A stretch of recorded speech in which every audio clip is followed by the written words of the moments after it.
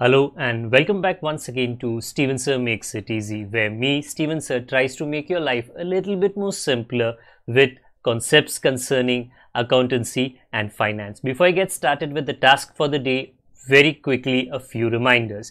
You can connect with us on our Facebook page, our Instagram ID, as well as the Twitter handle. And the most important one is the Telegram channel given above if you have not installed telegram on your mobile phone and you are a subscriber of the channel it's my request. Please get connected to the telegram channel above. Join it so that this particular telegram channel is used for official communication to inform you to update you about the lectures that will be premiered the next day as well as the most important thing the pdf of the question and answer whatever is coached and tutored on this particular platform will be shared at the end of that particular chapter so that you can download it and use it for your future reference basis. Also, if you do intend to purchase the textbook from which the necessary questions are explained during the various lectures, the purchase link is provided in the description of every lecture. Very importantly, at the end, is if you have not subscribed to our YouTube channel, please do make that a task for the day and subscribe to our channel and together with that also press the bell icon so that Mr. YouTube notifies you about lectures which are uploaded on this particular platform.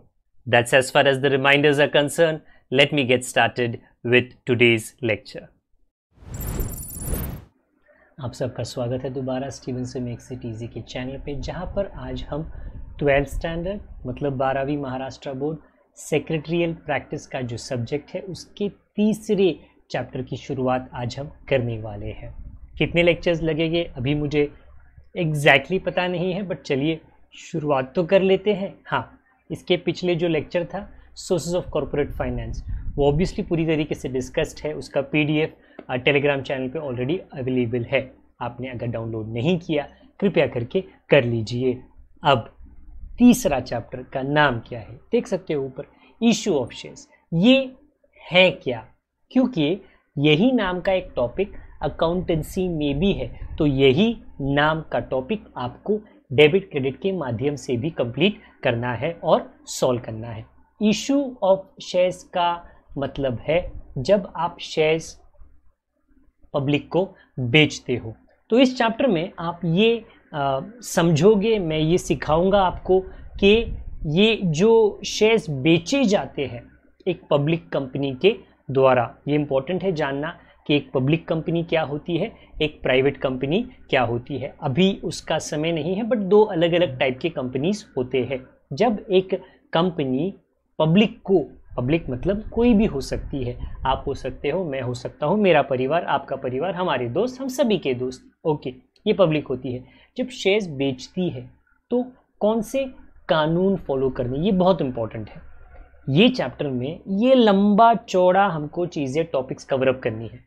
आज हम start करेंगे classification of share capital से। तो आज सिर्फ़ 3.1 की जानकारी मैं आपको दूँगा। आने वाले लेक्चर्स में थोड़ा थोड़ा करके थोड़ा थोड़ा करके बट याद रखिए, ऊपर से लेकर नीचे तक, जो कुछ कवर अप करना है, उसमें मैं मेरा मसाला नहीं डाल सकता।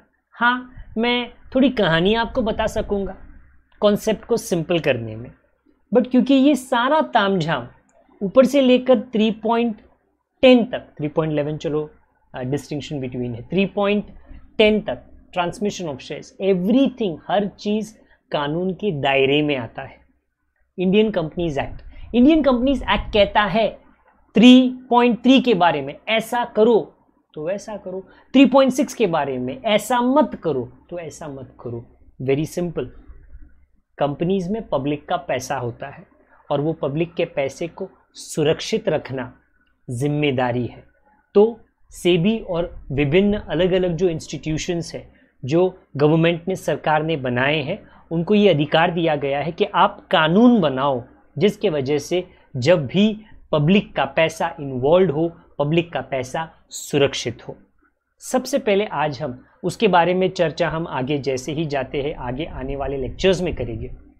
आज मुझे आपको क्या सिखाना है? वेरी वेरी इंपॉर्टेंट कि ये जो शेयर कैपिटल होता है ओके पहले मैं अपनी तरफ़ से आपको थोड़ी एक्स्ट्रा जानकारी दे देता हूँ कि सिचुएशन ऐसा है। एक तरफ़ पे लोग हैं और एक तरफ़ पे कंपनी है, जिसके पास में फैक्ट्री है, जिसके पास में ऑफ़िस है और ये लोग अपना पैसा कंपनी में क्या करते हैं?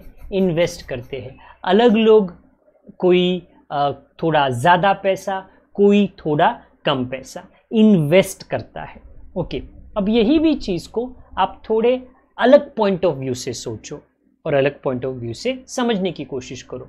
ये एक जॉइंट स्टॉक कंपनी है एक रीजन है कि इसको जॉइंट कहा जाता है। ओके सो so, एक कंपनी के एक टुकड़े को शेयर कहा जाता है। तो आई रिपीट ये पहले हमने सीख लिया है और ये सारे टुकड़े जो है ऊपर से लेकर नीचे तक ओके इस कंपनी को बनाते हैं। जब ये टुकड़े लोग खरीदते हैं, कौन खरीदते हैं? कोई फ़ेमस लोग है, कोई नॉट सो फ़ेमस लोग है। कोई भी ये टुकड़े खरीद सकते हैं। तो कंपनी ये टुकड़ों को बेचती है। उस टुकड़े को जब बेचा जाता है और सामने वाली पब्लिक जब कंपनी में पैसा डालती है, इस प्रोसेस को कहा जाता है इशू ऑफ़ शेयर्स तो आई रिपीट नॉर्मल पब्लिक है। वो पब्लिक अपना पैसा कंपनी में दे रही है इन्वेस्ट कर रही है और उसके इन रिटर्न में एक्सचेंज में कंपनी अपने एक टुकड़े को ओके उसको बेच रही है और इसके वजह से ये जो यहाँ पर लोग हैं, वो फ़ेमस हो या नॉट फ़ेमस हो, ये शेयर होल्डर बन जाते हैं। आज हम ये समझने की कोशिश कर रहे हैं कि ये जो शेयर्स होते हैं ओके शेयर कैपिटल कैपिटल की कौन सी कौन सी वेराइटी होती है, जिसको कहा जाता है क्लासिफिकेशन ऑफ़ शेयर्स लिस्ट बड़ी लंबी है। आपको सबसे पहले यह समझना है, जब एक कंपनी शुरू होती है तो जब कंपनी रजिस्ट्रार के पास जाती है, कंपनी रजिस्ट्रार को ये बोलती है कि देखो, हमको हमारे जीवन काल में आने वाले पचास सौ सालों में इतने शेयर्स बेचने हैं। और आपको ये याद रखना है शेयर्स के बारे में जब आप सोचते हो, दो चीज़ों का आपके पास में क्लैरिटी होना चाहिए। क्लियर कोई कंफ्यूजन इन दो चीज़ों के बारे में नहीं होनी चाहिए। पहला, कि एक शेयर का एक कीमत होता है, जिसको कहते हैं फेस वैल्यू मतलब जैसे एक नोट है। नोट पे दस रुपया लिखा। तो दस रुपया फेस वैल्यू हंड्रेड लिखा हंड्रेड फेस वैल्यू दो हज़ार लिखा, दो हज़ार फेस वैल्यू फेस वैल्यू बराबर? बट अगर मेरे पास दस नोट है, दो हज़ार के तो वो दस नोट क्वांटिटी होती है। एक नोट दो नोट पाँच नोट दस नोट क्वांटिटी होती है। हर एक की कीमत दो हज़ार और मल्टीप्लाई करने पे बीस हज़ार। तो जब भी एक कंपनी की शुरुआत होती है। सबसे पहले उसका जो कैपिटल रजिस्टर्ड होता है मतलब उन्होंने बेचा नहीं है, उन्होंने सिर्फ़ रजिस्ट्रार को बताया है, देखो भाई, हमारे पास हमको ऐसा लगता है, हमारे कैलकुलेशन के हिसाब से, कि हमको इतने कैपिटल की ज़रूरत पड़ेगी तो उतने शेयर्स हम बेच रहे हैं। ये जो एग्ज़ाम्पल है, यहाँ पर अगर आप नज़र मारो तो आपको समझ आएगा कि इस कंपनी में जो ऑथराइज कैपिटल है, जिसके साथ में इसका रजिस्ट्रेशन हुआ है, वो था एक लाख शेयर्स एक लाख रुपीज़ नहीं प्लीज़ ये अपने दिमाग से निकालना. एक लाख शेयर्स एक शेयर की कीमत दस रुपए. डेफोर जब मल्टीप्लाई करते हैं तो पूरा जो शेयर कैपिटल जिसको कहते हैं ऑथराइज्ड ऑथराइज का मतलब क्या? अगर एक बिल्डर निर्णय लेता है, मुझे एक बिल्डिंग बनानी है तो वो एक एरिया सिलेक्ट करता है। और वो नहीं ऐसा सोचता, मैं तो तीन ही माले की बिल्डिंग बनाऊँगा, मैं तो पाँच ही माले की बिल्डिंग बनाऊँगा, चार माले की बिल्डिंग बनाऊँगा, नहीं। जब वो जाता है म्यूनसिपालिटी के पास में, उसके डिपार्टमेंट के पास में परमिशन लेने के लिए, वो तीस माले का परमिशन ले लेता है।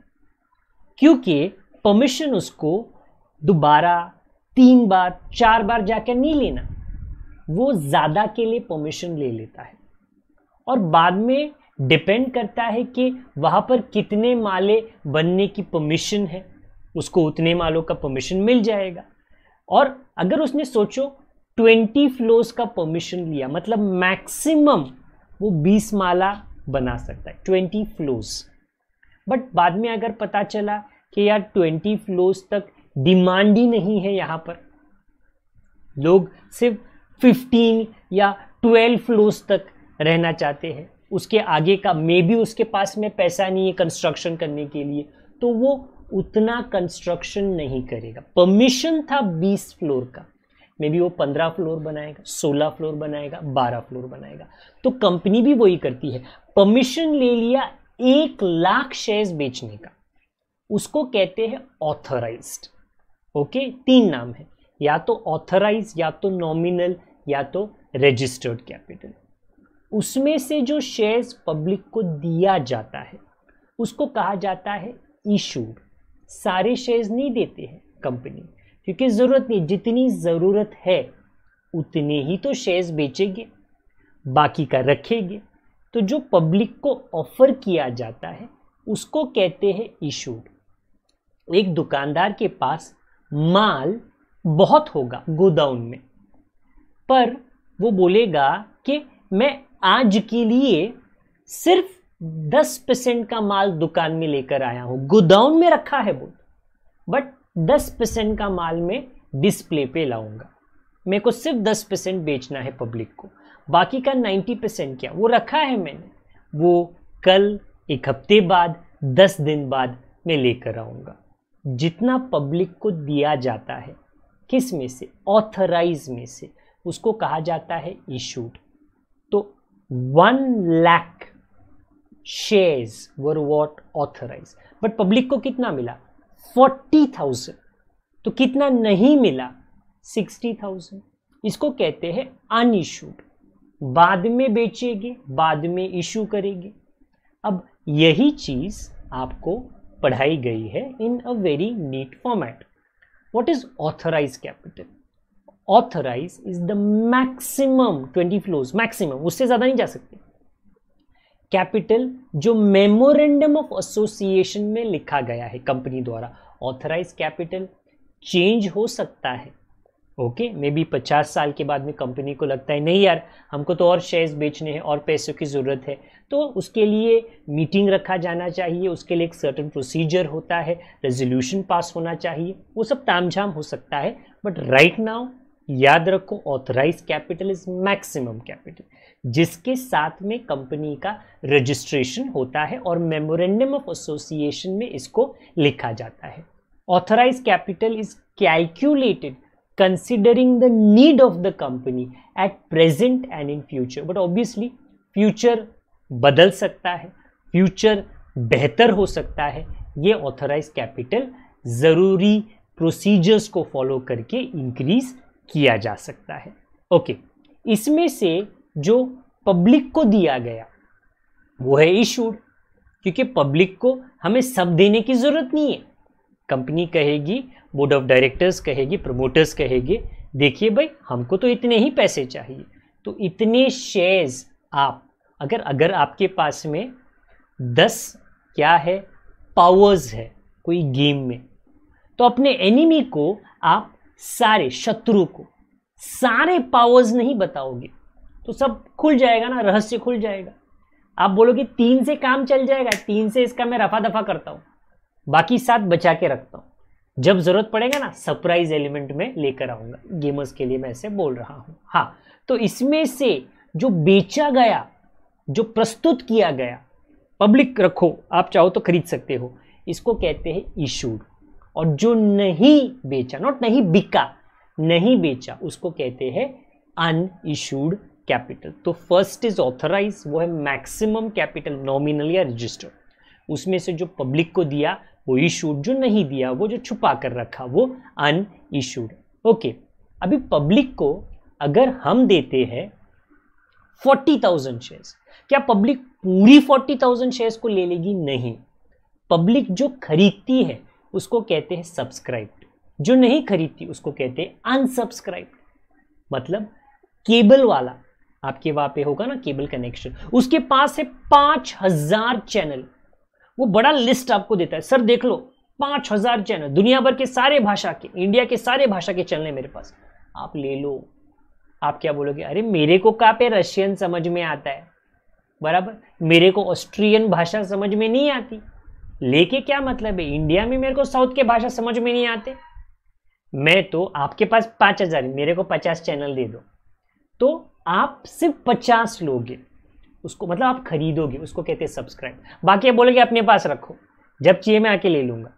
सो ऑथराइज का एक हिस्सा है इशूड बचा हुआ अनइशूड इशूड का एक हिस्सा है सब्सक्राइब्ड बचा हुआ अनसब्सक्राइब्ड ओके तो जो पब्लिक ने डिमांड किया जो पब्लिक ने मांगा उसको कहते हैं सब्सक्राइब अगर आप ऊपर पढ़ो is that part of issued capital which is taken up by the public the public may और may not subscribe to the issued capital issued मतलब एक आ, समोसे वाले ने दस समोसे बनाए। कस्टमर आया बोला मेरे को दस नहीं चाहिए मेरे को छः चाहिए। अच्छा साहब छः लेके जाओ चार बच गए। तो वो सब्सक्राइब है और अनसब्सक्राइब टेकन और नॉट टेकन ओवर ओके तो पब्लिक ने जितना खरीदा, वो पूरा सब्सक्राइब ले सकती है तो कोई अनसब्सक्राइब नहीं बाकी रहेगा। या वो थोड़ा ले सकती है। पब्लिक ने ले लिया बट क्या पब्लिक ने इस सब्सक्राइब कैपिटल के पूरे पैसों का भुगतान किया है? वो पता नहीं है। ओके डिपेंड करता है कि कंपनी ने मांगा कितना पैसा। क्योंकि कंपनी ये अपनी ज़रूरत के हिसाब से मांगती है। अगर शेयर्स खरीदे गए हैं, अगर आप यहाँ पे ध्यान दो, तीन लाख के, तीन लाख रुपीस के तो कंपनी का हक बनता है। तीन लाख रुपया पब्लिक से ले पर कंपनी बोलेगी, नहीं, तीन लाख की ज़रूरत नहीं है। हमें सिर्फ़ डेढ़ लाख की ज़रूरत है। नीचे देखिए वन लाख फिफ्टी उसको कहते हैं called up capital called up का मतलब एक कॉल का मतलब क्या है? रिमाइंडर एक कंपनी पब्लिक को जिन्होंने शेयर्स खरीदे, सबको डिस्टर्ब नहीं करती, जिन्होंने शेयर्स खरीदे, उनको मेल व्हाट्सएप कम्युनिकेशन करती है और बोलती है, भैया, हमको डेढ़ लाख रुपया चाहिए, आप दे दो। ओके हाँ तो इसको कहते हैं कॉल्ड अप कैपिटल इसमें से हो सकता है ये पाँच रुपया है एक शेयर का, क्योंकि एक शेयर दस रुपये का है। चार रुपया अनकॉल्ड जो कंपनी अभी नहीं मांग रही। एक रुपया बच गया, उसको कहते हैं रिज़र्व कैपिटल रिज़र्व कैपिटल का मतलब है कंपनी बोलती है, ये हम बिल्कुल नहीं मांगेंगे। जब तक हम ऐसे कगार या लेवल पे ना आए, जहाँ पर हमारी दुकान बंद हो रही तब हम ये रिज़र्व का एक रुपया पब्लिक से मांगेंगे। अभी के लिए कंपनी कहती है, सभी लोगों को, तूने दस का शेयर लिया, पाँच रुपया दे। तूने भी दिया दस का शेयर पाँच रुपया दे। तूने भी लिया, पाँच रुपया दे। क्योंकि हम ये मांग रहे हैं कॉल्ड अप बराबर? बाकी पाँच में चार रुपया हम बाद में लेगी। छः महीने बाद, एक साल बाद, वो डिपेंड करता है, जब ज़रूरत पड़े। एक रुपया हम लेंगे ही नहीं, वो रिज़र्व कैपिटल है। वो अगर कभी कंपनी अगर कभी कंपनी बंद होने के लेवल पे आ जाए तो जो बंद होने के प्रोसेस है, उसके लिए हम पैसा आपसे ले लेंगे। रिज़र्व कैपिटल ऐसा कोई कंपलसरी नहीं होता। हर कंपनी अपने अपने डिसीज़न या ख्यालात के हिसाब से थिंकिंग के हिसाब से रिज़र्व कैपिटल कभी रखती है, कभी नहीं रखती। ओके पब्लिक से मांगा डेढ़ लाख वन लाख फिफ्टी क्या सभी ने सुना? डिपेंड करता है। जिन्होंने सुना, उनकी तरफ़ से पैसा आ गया। वो है paid up capital one lakh last में। और कुछ लोगों ने नहीं सुना। देखो ना थर्टी थाउज़ेंड में शेयर्स में, बीस हज़ार शेयर्स ने सुना। उन्होंने पैसे दे दिए। दस हज़ार ने नहीं सुना। उनका पैसा है कॉल इन अरियर। हमने कॉल सबको लगाया। Mister A, mister B, mister C, mister X, Y, Z, P, Q, R. Maximum लोगों ने फ़ोन ले लिया। हाँ जी, पैसे चाहिए, भेज रहा हूँ। हाँ जी, पैसे चाहिए, भेज रहा हूँ। कुछ लोगों का मिस कॉल। क्यों मिस कॉल? पता नहीं, वो घर पे नहीं रहेगा, उनके पास मोबाइल नहीं रहेगा, वो किधर भाग के चले गए किधर घूमने के लिए, कोई ना कोई रीज़न है, उन्होंने हमारा कॉल नहीं सुना मिस कॉल हो गया, हमको उनसे पैसे नहीं मिले, वो होता है कॉल इन अरियर इनका क्या किया जाता है, वो हम आगे आने वाले चैप्टर्स में डिस्कस करेंगे बट जो पब्लिक को दिया गया, वो सब्सक्राइब कैपिटल फिर कंपनी का ये हक बनता है, कि वो पैसा वो कंपनी से, वो सॉरी पब्लिक से ले बट कंपनी की जितनी ज़रूरत है, उतना ही वो कॉल करती है। बाकी या तो वो अनकॉल्ड रखती है, या तो वो रिज़र्व कैपिटल के अंदर रखती है। At the time of issue full value of shares नहीं लिया जाता, नहीं डिमांड किया जितनी ज़रूरत है, उतना ही। और बाकी का जो पैसा है, वो या तो अनकॉल्ड रखो, या तो थोड़ा अनकॉल्ड रखो, थोड़ा आप रिज़र्व में रखो। मैंने कॉल कर लिया बट क्या सामने वाले पब्लिक ने मेरी बात मानी, मैक्सिमम ने बात मानी और पैसे दे दिए। वो होता है पेड अप कैपिटल कुछ लोगों ने, कोई तो पर्सनल रीज़न होगा, उसके वजह से मेरी बात उन्होंने नहीं मानी। मेरी कॉल उन्होंने नहीं सुनी तो उनका पैसा जो मेरे पास नहीं आया, उसको कहते हैं कॉल इन अरियर मतलब एक कंपनी के पास जो पैसा आता है, वो पार्ट्स में लेती है। उसको इंस्टॉलमेंट्स आप कह सकते हो। ये आगे जाकर चर्चा होगी। अभी मैं सिर्फ़ बता रहा हूँ। पहले इंस्टॉलमेंट को कहते हैं एप्लीकेशन उसके बाद अलॉटमेंट ये आगे जाके हमको सीखना है। उसके बाद कॉल वो हो सकता है फ़र्स्ट कॉल और वो हो सकता है सेकेंड या तो फाइनल कॉल मतलब मैंने यहाँ पर एग्ज़ाम्पल एक हंड्रेड रुपीज़ का शेयर का दिया है। जो टेक्स्ट बुक में है, वो टेन रुपीज़ का शेयर है। शेयर दस का हो सकता है हंड्रेड का हो सकता है, पाँच का हो सकता है, कोई भी वैल्यू का हो सकता है, पचास का हो सकता है। कंपनी पूरा पैसा नहीं लेती। कंपनी बोलती है, एप्लीकेशन के टाइम पे थोड़ा दे दो, अलॉटमेंट के टाइम पे थोड़ा दे दो, जो अलॉटमेंट है, एप्लीकेशन है, वो प्रोसेस में आगे आपको समझाने वाला हूँ। बट पार्ट्स में लेती है। चार महीने बाद थोड़ा हम कॉल कर लेंगे, पाँच महीने बाद हम कॉल कर लेंगे। टुकड़े टुकड़े में कंपनी को पैसे मिलते हैं। अभी यही चीज़ एक डायग्राम से मैं आपको समझाता हूँ। क्योंकि सबसे बड़ा कैपिटल कंपनी का क्या है? ऑथराइज कैपिटल ये मैक्सिमम कैपिटल होता है। बराबर? इसमें से कुछ कैपिटल शेयर्स पब्लिक को पेश किया जाता है। उसको कहते हैं इशूड पब्लिक जितने में इंटरेस्ट लेती है, उसको कहते हैं सब्सक्राइब्ड जो वो इंटरेस्ट नहीं लेती, वो अनसब्सक्राइब फिर कंपनी जितना पैसा उसमें से मांगती है, उसको कहते हैं कॉल्ड अप कैपिटल ओके और जो पैसा पब्लिक दे देती है शेयर होल्डर्स दे देती है, उसको कहते हैं paid up capital so the bigger capital is authorise maximum उसको नॉमिनल या रजिस्टर्ड कहते हैं. उसके एक हिस्से को इशूड उसके और छोटे से हिस्से को सब्सक्राइब्ड उसके और छोटे से हिस्से को कॉल्ड अप एंड लास्ट में जो लेन देन होता है ना, वो पेड अप कैपिटल के हिसाब से होता है। इसमें काना का पे unissued unsubscribed un not called up okay and not paid up कॉल्जिनरीज ये सारे बखेड़े आते हैं। But this diagram should give you a decent idea what is the biggest capital और आखिरकार लेन देन पेड अप कैपिटल के अंदर होता है। ये वेराइटी ऑफ़ कैपिटल आपको याद रखना है तो कृपया करके स्पाइस जेट एयरवेज, आप ये याद रखें। स्पाइस जेट एयरवेज कोविड के टाइम पे काफ़ी चर्चा में था, क्योंकि एक फ़्लाइट के अंदर ये सच्ची कहानी है, जो मेरे पीछे आपको नज़र आ रही है। एक फ़्लाइट के अंदर एकाएक पता चला कि शादी हो रही है, और जितने भी लोग फ़्लाइट के अंदर है, सभी लोग शादी के मेहमान हैं। ऐसा क्यों भैया? फ़्लाइट में क्यों शादी करनी पड़ी? मिड एयर एक जगह से उड़ान भरने के बाद पहले डेस्टिनेशन में पहुँचने के पहले मिड एयर शादी हो रही है। क्योंकि कोविड ने कहा था कि शादी में चालीस या तीस लोग आ सकते हैं। अभी ये जो दुल्हा दुल्हन है ना, इनको, नहीं नहीं जी, हमारी शादी तो एक ही बार होने वाली है। थोड़ी ट्रायल है कि बाद में एक और बार करेगी। नहीं नहीं नहीं, ज़्यादा लोग आने चाहते। फ़्लाइट में जी रिस्ट्रिक्शन नहीं था तो इन्होंने बड़ी पैतरा अपनाया। स्पाइस जेट में पूरी बुकिंग कर ली और अपने सभी मेहमानों को कहा, चलो भाई, फ़्लाइट में चलो, शादी वहीं पे कर लेते हैं।